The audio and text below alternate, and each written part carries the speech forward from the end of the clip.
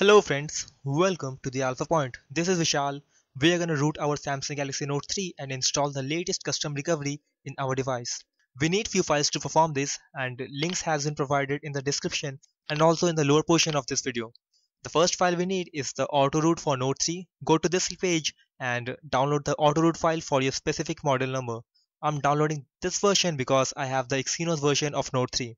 If you have different model number of your Note 3, then download according to it. We also need recovery which we will install after rooting our device. You can install any recovery such as TWRP, Philz, CWM. I'm installing the CWM in it. You can also download for your model number from this link. Click to download. I have already downloaded the files and placed it in my desktop. You need to extract the autoroot file, then open it Open Odin using Run as Administrator.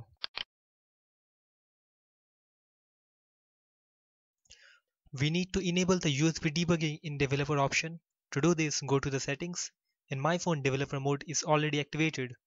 If it is not activated in your device, then open About Device, then click 8 times on the build number. After that, enable the USB debugging here. Then switch off the phone. Now we need to start our phone in the download mode. To do this, we need to press the volume down, power and the home button at the same time. Then click on the volume up button. Then connect the device using the USB cable. After connecting, we will be able to see the light blue indicator. This means the phone has been detected by the Odin. Then click on PDA, then locate and select the autoroot file for Note 3.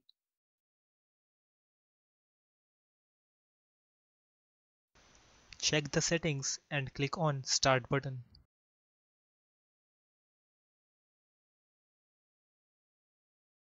It will look like this after this process. At the meantime, the phone will look something like this. Then the phone will restart itself. Now in the apps drawer, you will be able to see the Super SU icon. This means your phone has been successfully rooted. Now to install the CWM recovery, we need to repeat the process again. First open the Odin using run as administrator. Now we need to put the phone in the download mode.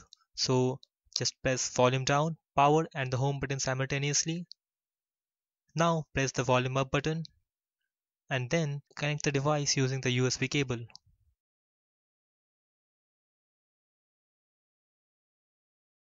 Now in PC, we will be able to see the blue indicator, then select on PDA, then locate and open or double click on the recovery tar file. Check the settings and click on start. Recovery has been successfully installed now. The phone will restart itself. To check whether recovery has been installed or not, turn off your phone. Now start the phone using volume up, power and home button at the same time.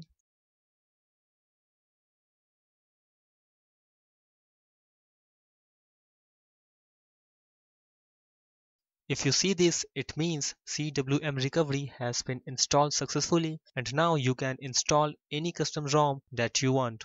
Make sure you take the backup first before installing any custom ROM so that if you face any problem in future, you can revert it back to its previous state. That's all from this video guys. If you have any suggestion or problem, just do comment below and I'll be there to help you.